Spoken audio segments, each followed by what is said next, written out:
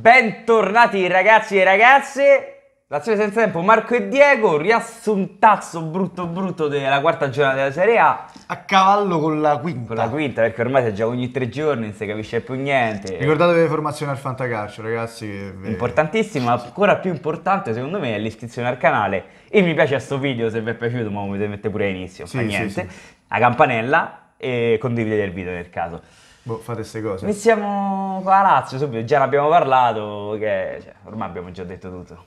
Sì, insomma, dobbiamo sintonizzarci, dobbiamo son- sintonizzare i movimenti, fase difensiva soprattutto, però anche la fase offensiva, diciamo che manca un po' la ciccia, eh, Sì, tiriamo sì, poco, Dobbiamo, dobbiamo fare di più. C'è tempo, lo sappiamo, dobbiamo aspettare, insomma, soliti discorsi, vediamo un po'. E abbiamo capito che lei ha bisogno di un sostituto, definitivamente, non... Insomma, uno che lo rimpiazzi, però uno che gli dia respiro. Sì.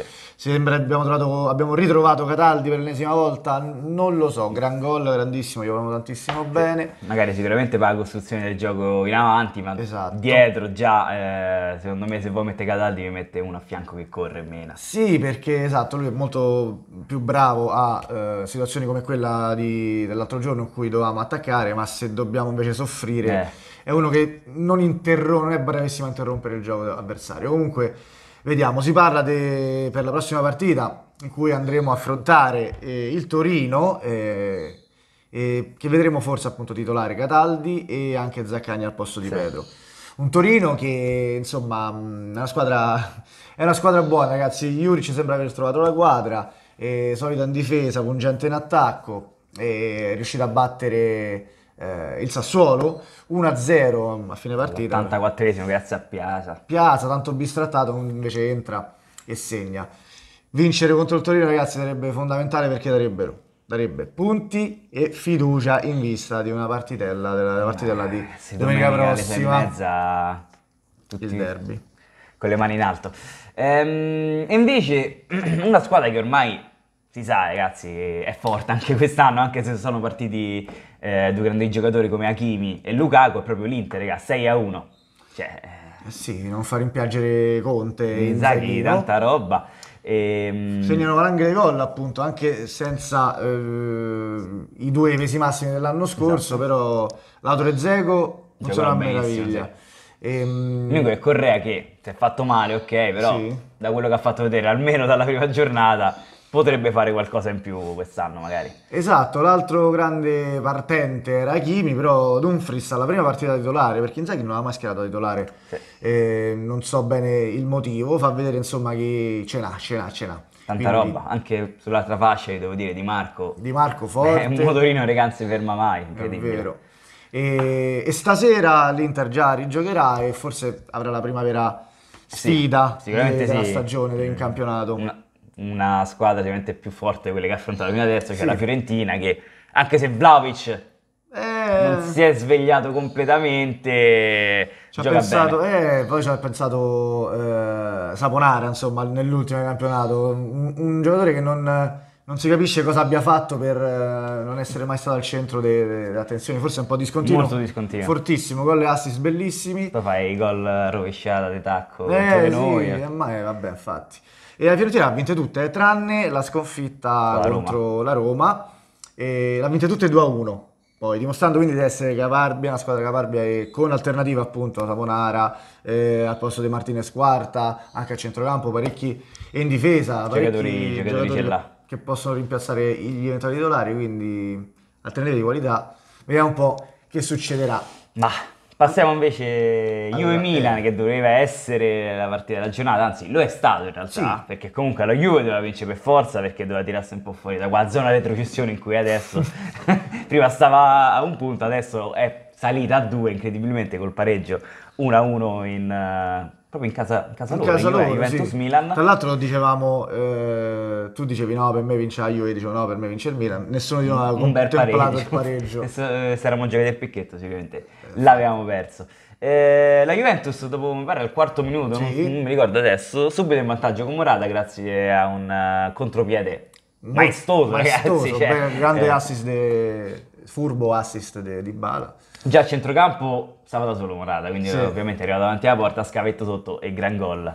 E invece... Eh, la Juve però appunto spreca, soprattutto in fase di ricostruzione, non riesce a mantenere il vantaggio, nonostante le tante assenze del Milan. Ibrahimovic, e, eh, e anche Giroud Giroud, mancava, infatti. Giroud.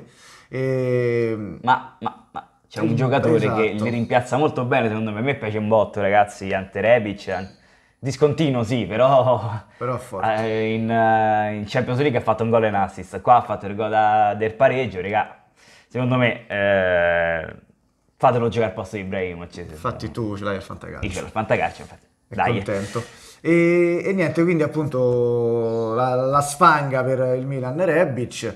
Ora entrambe le squadre andranno a- a infron- ad affrontare, si scambieranno, Sì, due squadre che noi da subito abbiamo detto probabili retro- prime Sì. retrocesse, cioè Spezia e Venezia, che si sono affrontate appunto a loro volta. E, mm, e col Venezia che vince 2-1 all'ultimo grazie a una bomba di Burabia, un gran gol di Burabia quindi Tiago Motta che ancora eh, non la azzecca vediamo insomma se sto primo, sta prima vittoria stagionale in campionato della Juve. Arrivi appunto contro insomma per questo scontro salvezza possiamo dire. Adesso, Adesso sì, adesso è uno sconto salvezza, veramente. Chissà, raga. tra le bianconere. Eh, ho sentito tante voci in realtà su YouTube eh, che dicono che fra un po' Allegri si, tire- si tirerà fuori perché non deve arrivare, perché il gioco non è più, eh, è un gioco vecchio, Allegri e tutto il resto, però, raga, non lo so. Mm, una squadra- C'è bisogno di un po' di tempo. comunque co- con parecchi giovani anche tra virgolette perché non proprio giovanissimi però insomma e è cambiato, non è più la Juve d'Allegri di prima, sarà la nostra Juve d'Allegri, vediamo. Il Milan invece continua mh, insomma, la marcia senza sconfitta in campionato, passa nonostante gli sfortuni contro una dei papabili dello scudetto con pareggio, quindi continuano, continuano a macinare i milanisti. Poi invece chi non, ma- eh, vabbè. Chi non macina per questo assaggio incredibile a stop il Real Madrid ha perso Infatti, contro il Besiktas. Esatto, no, il Verona batte la Roma 3-2, quindi dimostra questa Roma che non è proprio sta corazzata, Sì, è infallibile. Già in realtà col Sassuolo la partita prima Se era un po' Si rischiata. era un po' rischiata, il Sassuolo aveva capito come giocava e tutto il resto. Invece, Invece il Verona è reduce anche, lo- anche lei, questo, questo parallelismo tra Roma e Lazio continua perché noi giocavamo con Mazzarri appena arrivato, loro eh, contro Mazzarri, loro contro Tudor, appunto appena eh, il povero di Francesco, povero di Francesco. Quante sconfitte? Tipo 508 sconfitte consecutive. 19 risultati negativi consecutivi. Cioè, non vittorie. Non vittorie. Mamma mia. Male.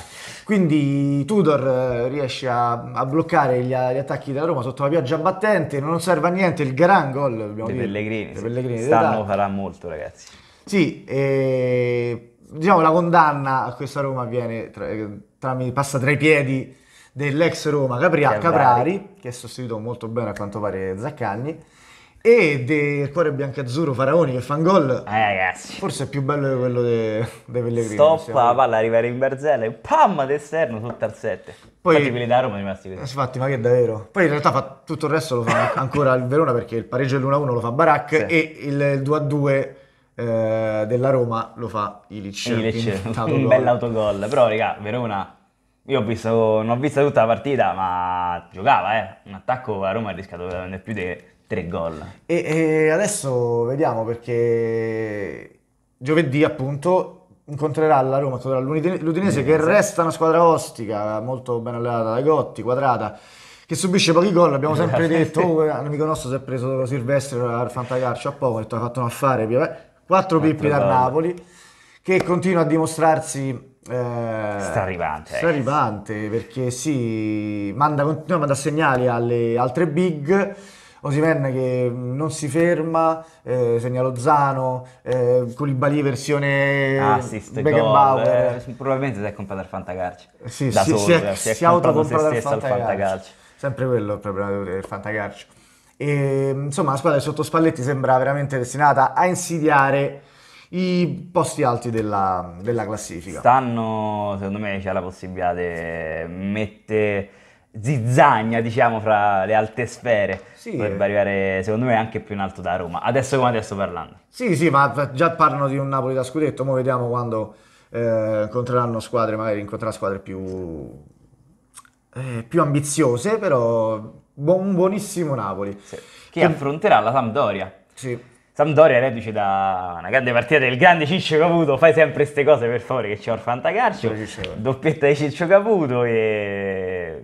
che ha ridimensionato ancora di più eh, Questo Empoli, no? questo Empoli che già dall'inizio si diceva che... No, Oddio, in realtà era all'inizio partito molto era partito bene, molto bene. contro di noi, vince contro la Juve, eh, però poi le ultime due non le, non Non le va, azzecca. non va, non va. E quindi vediamo un po' che, insomma, come andrà avanti ehm, questo Empoli.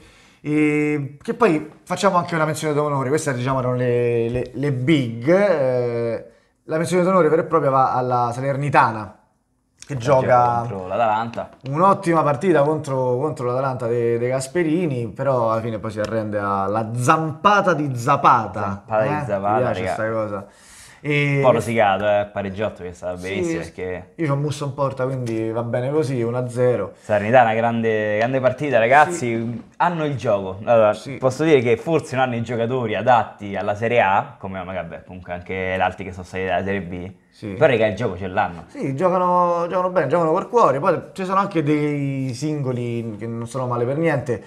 Eh, quello che insomma è risaltato di più è sto Keshrida, il tunisino Keshrida, che è il nuovo Il Kimi. nuovo Kimi, sì, Eh, esterno destro che ha dato veramente filo da torcia a Gosens, ha giocato molto meglio di Gosens, Gosens sì, da- infatti, si doveva preoccupare di difendere piuttosto che di attaccare. Ha preso un voto di merda, il. Eh sì.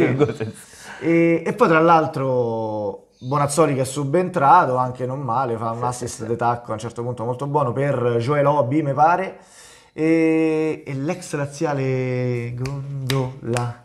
Gondo, cia cia cia. che fanno buonissima partita e si capisce perché è così, è così amato dai tifosi salernitani, effettivamente l'hanno sempre bene. detto. Bravo, io poi mi aspettavo uno più da centrocampo dei botte, invece veramente trequartista seconda punta. Molto, molto interessante, però ormai svincolato è andata, È andato. quindi va bene così. Si è svincolato da sola. Sì. E niente, questo era il sunto della quarta giornata di campionato, praticamente con un accenno, con, uno, con un pizzico di quinta. Pizzico di quinta che inizierà oggi, oggi. alle 6, mi pare. Sì, e... e niente, se vediamo in realtà domani, domani. live. Dopodomani in live. Giovedì giochiamo, sì. sì. E live come al solito poi pre-partita, reaction, post-partita. Mi piace, post. condividete, Erco Forza Lazio. I'll fly with you.